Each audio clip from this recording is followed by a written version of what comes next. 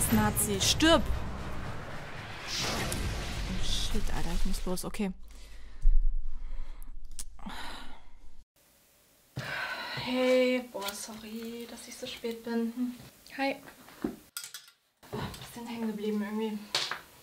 Was hast du denn da an? Ja, klar, das ist alt, aber ist doch ein Klassiker, oder? Hä, das geht doch gar nicht. Hey, was meinst du denn? Na, der tritt dem gegen den Kopf und du trägst es auf der Brust herum. Findest du das geil oder so? Naja, der tritt halt einen Fascho. Ja und? Immer dasselbe mit dir, ey. Am Ende führt Gewalt doch immer nur zu noch mehr Gewalt. Jetzt geht das schon wieder los. Wer kennt's nicht?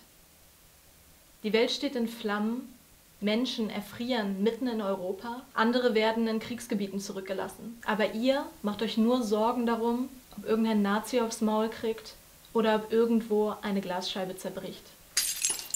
So viele Menschen fühlen sich unwohl mit Gewalt. Vor allen Dingen, wenn vielleicht ihr eigenes Auto betroffen sein könnte. Mir geht es auch so. Doch ist es falsch, in einer Welt voller Gewalt, Gewalt unter den richtigen Bedingungen notwendig zu finden? Versteht mich nicht falsch. Ich finde das Streben nach Pazifismus absolut unterstützenswert.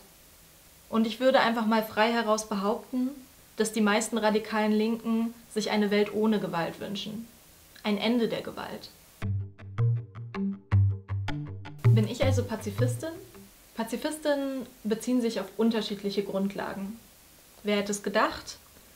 Ich finde den bürgerlichen Pazifismus nun ja naiv und heuchlerisch. Denn sie sind die Vorgängerinnen von all den Konservativen und Liberalen, die heute bei jeder zerdepperten Glasscheibe nach Frieden und Gewaltlosigkeit schreien. Die EU hat 2012 den Friedensnobelpreis erhalten. Eine Anerkennung für viele Jahrzehnte Frieden, Versöhnung und Demokratie. Aha.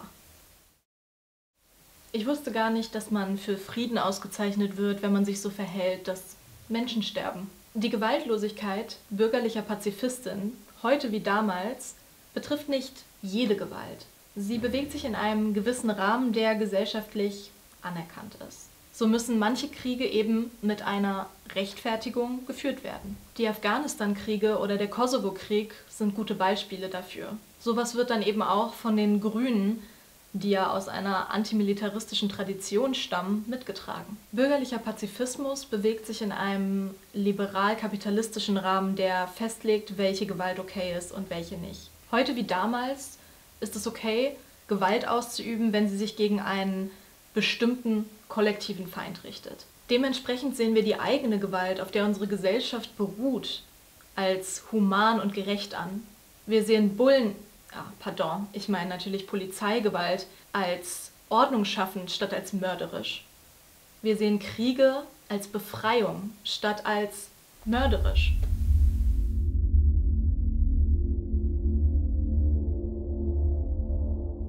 Doch es gab auch Pazifistinnen, die das anders sahen. Und das waren radikale Linke, Sozialistinnen.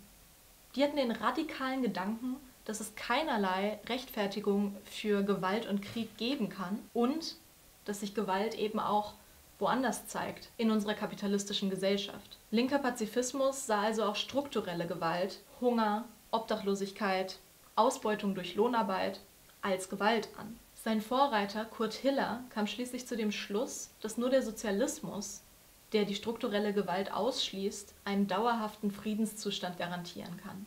Der revolutionäre Pazifismus hat immer wieder ausgesprochen, dass Pazifismus eine Doktrin des Ziels, nicht des Weges ist. Dass der Weg zum Ziel durch Blut führen kann.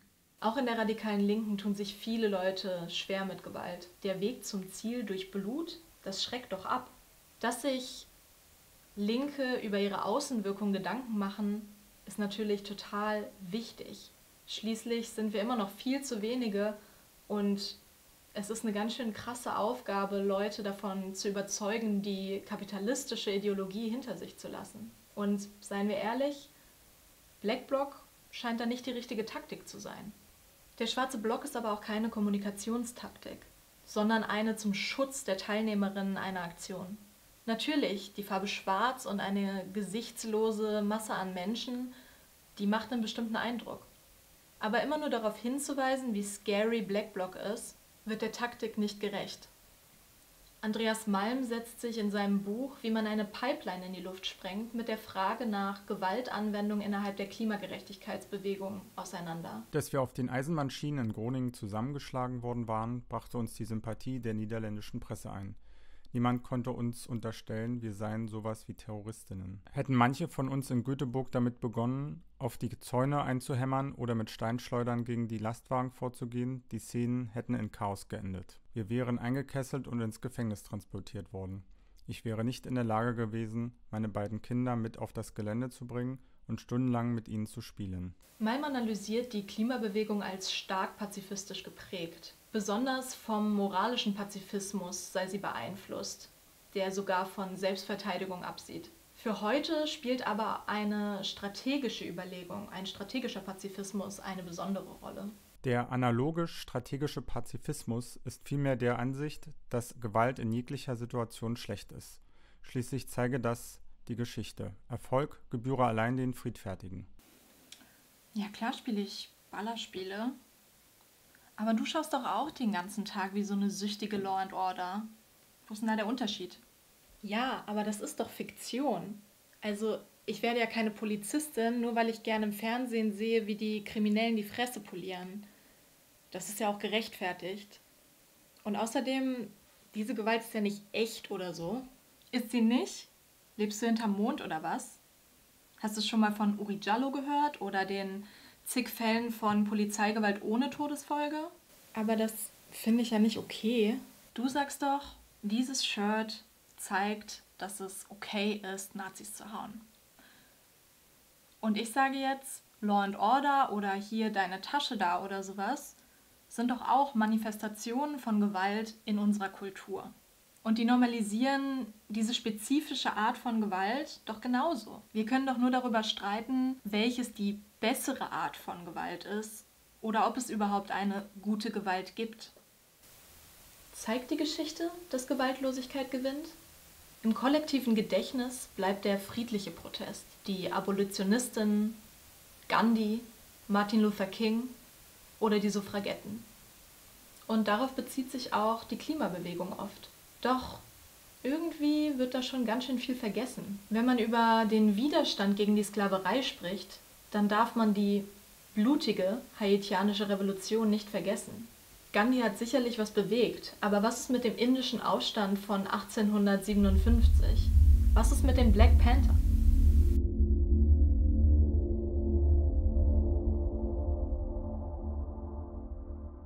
Und die Suffragetten waren nicht gerade friedlich. Zerstörung von Eigentum war ihre bevorzugte Taktik. An dieser Stelle gönnt euch die Auflistung der militanten Aktion der Suffragetten von Diane Atkinson. Deshalb haben wir heute Wahlrecht, Genossinnen. Heute sind wir schon so weit, dass allein Landfriedensbruch als massive Gewalttaten beschrieben wird. Was sollen wir denn noch machen, um uns gegen den schrecklichen Status quo zu wehren? Ach ja, Kerzen, Händchen halten, Petitionen unterschreiben.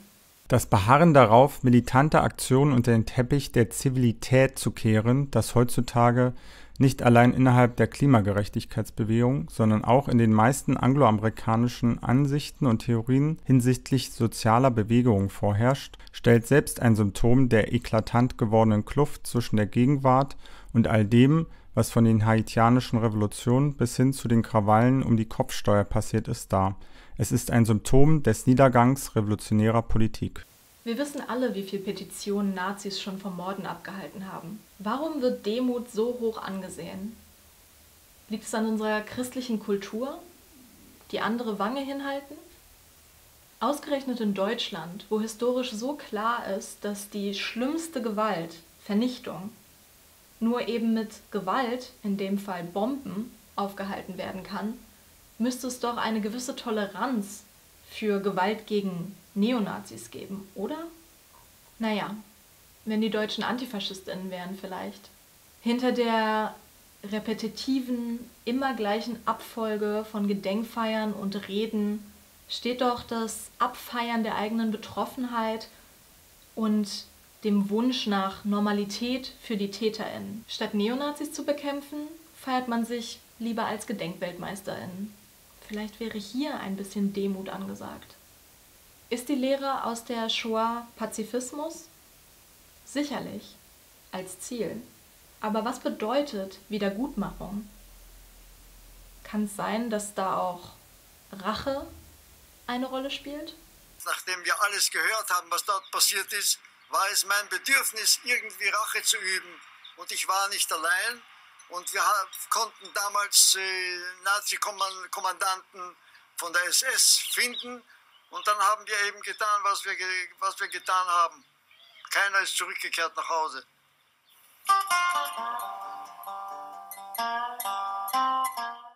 Das Grauen der Shoah muss nicht auszuhalten sein.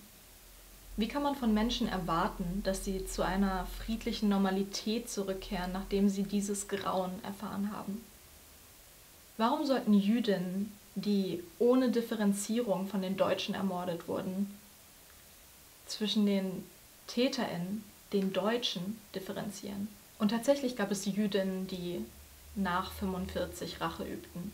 Eine Gruppe ehemaliger jüdischer Partisaninnen, die sich übersetzt das Blut der Juden rächt sich nannten, verfolgte ganz konkrete Rachepläne. Das Vergiften der Trinkwasserzufuhr deutscher Städte, die scheiterte, sowie das Bestreichen von Broten für ein SS-Internierungslager mit Arsen, was zu tausenden erkrankten Insassen führte. So konkret gewalttätig waren die von Rachegefühlen geleiteten Handlungen aber nur selten. So verwies die in New York lehrende Historikerin Athena Grossmann 2002 auf die außergewöhnlich hohe Heirats- und Geburtenrate in den Lagern für Displaced Persons, die sie als Form der Rache an den narzisstischen Vernichtungsplänen versteht. Czolek argumentiert, dass das deutsche Gedächtnistheater das jüdische Opfer braucht, um wirksam zu sein. Das dann zu brechen, und sei es nur künstlerisch, erlaube eine andere Selbstpositionierung. Juden, das sind in dieser Kunst zufolge nicht nur Opferfiguren, sondern ebenso Racheengel, Sieger über den Faschismus. Und sie erlaubt eine Umdeutung diskriminierender Diskurse. Antisemitische Werke, die das Klischee des rachsüchtigen Judens illustrieren, können vor dem Hintergrund der Rache an der Shoah anders, rebellisch, stark gewertet werden. Rachekunst, so Czolek, nutzt Rache für eine gegenwärtige jüdische Selbstbestimmung. Doch gleichzeitig destabilisiere sie. Denn das Selbstverständnis vieler Jüdinnen heute beruhe eben auf Friedfertigkeit. Eine stabile und eindeutige Position. Ich glaube, der Knackpunkt vieler Linker, die sich unwohl mit Gewalt gegen Nazis oder Gegenständen fühlen, ist eine stabile Positionierung in einer Welt voller Widersprüche, voller Gewalt. Auf diese Weise kann man sich sicher sein, wir sind die Guten. Ich glaube, hier und heute pazifistisch zu sein, ist ein Privileg. Stell dir mal vor, du hast jeden Tag mit Gewalt zu tun. Zum Beispiel hast du schon tausendmal von den Cops auf die Fresse bekommen und erwartest eigentlich jederzeit wieder eine Bullenkontrolle. Aber mir fällt nicht nur Diskriminierung da ein, zum Beispiel auch Armut. Weißt du noch Jenny aus der Grundschule? Die wollte doch nur normal sein, aber wir haben sie so krass ausgegrenzt, weil sie offensichtlich aus einer armen Familie kam und ein bisschen verwahrlost aussah. Das macht doch was mit dir. Wie sollst du denn da ein friedliebender Mensch werden? Ja, klar. Aber was hilft es Jenny, wenn ihr dann Scheiben einwerft? Naja, also immerhin zeigen wir, dass wir nicht mit dieser Scheiße zufrieden sind. Aber das checkt doch niemand. Wenn ihr ein Ende der Gewalt wollt, ist es dann ein guter Look, Krawall zu machen? Ich glaube einfach, Gewalt wird schnell zum Selbstzweck. Das macht doch was mit dir, wenn du regelmäßig und selbstverständlich Gewalt ausübst. Was ist, wenn du irgendwann so viel Spaß daran hast, gewalttätig zu sein, dass du keine Rechtfertigung mehr dafür brauchst. Wenn du dir dabei einredest, dass es sinnvoll und richtig ist, dann kannst du doch deinen Fetisch, die Geilheit, die du dabei spürst, prima verstecken. Gewalt ist halt wirklich immer nur situativ sinnvoll. Und natürlich muss man da aufpassen. Also, ich würde sagen, als Kollektiv immer ein Auge darauf haben, dass Gewalt nicht eskaliert. Selbstkritisch bleiben und sich immer wieder hinterfragen. Natürlich, das ist total wichtig. Aber bei den krassen Widerständen, die uns im Kampf für eine bessere Welt durchs Kapital und den Staat entgegenstehen, kann man doch Militanz als Mittel nicht ignorieren. Ich glaube nicht, dass wir da durch Reformen hinkommen und eine Revolution wird halt gegebenenfalls blutig. Aber woher weißt du denn, dass Gewalt, dann halt revolutionäre Gewalt, nicht normalisiert und glorifiziert wird? Vor allem auch nach der Revolution. Die kommunistischen Revolutionen, so die landläufige Meinung, waren nicht mehr als Gewalt und Terror. Die größte Tragödie, so Binia Damschak, war der Stalinismus. Er war und ist eine Tragödie insbesondere für Kommunistinnen. Denn aus der einen erfolgreichen sozialistischen Revolution ging die Terrorherrschaft des Stalinismus hervor, die vielen linken Revolutionären das Leben kostete. Binia Damschak beschreibt ein Phänomen, das viele Menschen, insbesondere Kommunistinnen, nach der russischen Revolution erlebten. Die postrevolutionäre Depression. Ihre Sehnsucht richtete sich nach dem gewalttätigen Aufstand der Vergangenheit. Eine Sehnsucht, die im Stalinismus durch den Kriegskommunismus aufgefangen wurde. Ein Wort, was in sich paradox ist. Der Aufbau einer postrevolutionären Ordnung, eine zukünftige Utopie, scheint weniger begehrenswert gewesen zu sein. Der Stalinismus brachte wenigstens wieder eine kriegerische Stimmung. Doch ging es, im Nachhinein betrachtet, bei diesem Klassenkampf doch weniger um die Klasse als mehr um den Kampf. Die stalinistische Konterrevolution verband den Aufbau der neuen Welt, verstanden als industrielle Produktivkraftentwicklung, mit dem Angriff auf die alte Welt, verstanden als Kampf gegen immer neu zu konstruierende Feindgruppen. So trug die forcierte, nachholende Entwicklung die Form einer nachholenden Revolution – damit war der postrevolutionäre Revolutionarismus im Dienste des Staates auch eine Antwort auf die affektive Atmosphäre, die während der 20er Jahre viele Kommunistinnen umgab. Die nostalgische Sehnsucht nach einer siegreichen, aber verlorenen, weil vergangenen Revolution. Ein Paradox. Die Fixierung auf die Revolution lässt die Revolution siegen und scheitern. Adamczak stellt die Frage, ob die postrevolutionäre Depression tatsächlich ein Ausdruck von einem Wunsch nach Aufregung, Abenteuer, ja Gewalt war. Was betrauerten die Kommunistinnen an der Revolution? War es am Ende nicht der Krieg, sondern der Kommunismus? Einige der ehemaligen Revolutionärinnen wünschen sich nicht in erster Linie den Kampf zurück, sondern die Gemeinschaft, die Gleichheit revolutionärer Tage. Solidarität als Voraussetzung und Effekt des Kampfes. Adamczak schreibt, in die eine Richtung ist das von der anarchistischen Kritik am marxistischen Revolutionsmodell geleistet worden, die verlangt, dass Momente der Utopie bereits in der Revolution aufgehoben werden, dass die Bewegung zu einer besseren Gesellschaft bereits Werbung für diese ist. Die Erfahrung des Stalinismus hat die Kritik unabweislich gemacht. Der gute Zweck legitimiert nicht die schlechten Mittel. Die schlechten Mittel delegitimieren den guten Zweck. Vielleicht sollte unser Fokus bei aller Frustration mit, bei aller Wut über unsere schreckliche, gewaltvolle Gesellschaft nicht der Krieg, nicht die Rache sein, sondern der Kommunismus. Die Kooperation, die Beziehungsweise, die Solidarität. Mit all den Widersprüchen, die Beziehungen nun mal ausmachen. Es lohnt sich aber, im gemeinsamen Kampf die Zärtlichkeit zwischen Genossinnen zu betonen.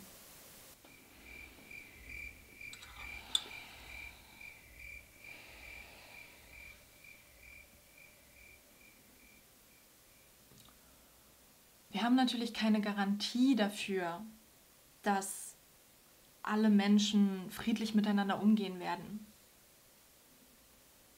Aber ist es nicht einen Versuch wert? Und müssen wir nicht jetzt dafür sorgen, und zwar mit allen Mitteln, dass die Gewalt unserer Gesellschaft nicht schlimmer wird? Ja, vielleicht. Keine Ahnung. Es ist halt eine Risikokalkulation. Was meinst du denn? Na, wir müssen entscheiden, ob wir diese schreckliche Welt hinnehmen wollen. Wollen wir es riskieren, dass revolutionäre Gewalt außer Kontrolle gerät und in der Revolution vielleicht ein paar Leute zu viel einen Kopf kürzer gemacht werden? Oder nehmen wir das Risiko hin, mit der Ungerechtigkeit und Gewalt unserer kapitalistischen Gesellschaft Frieden zu schließen und so passiv noch mehr Gewalt oder sogar Vernichtung zu unterstützen?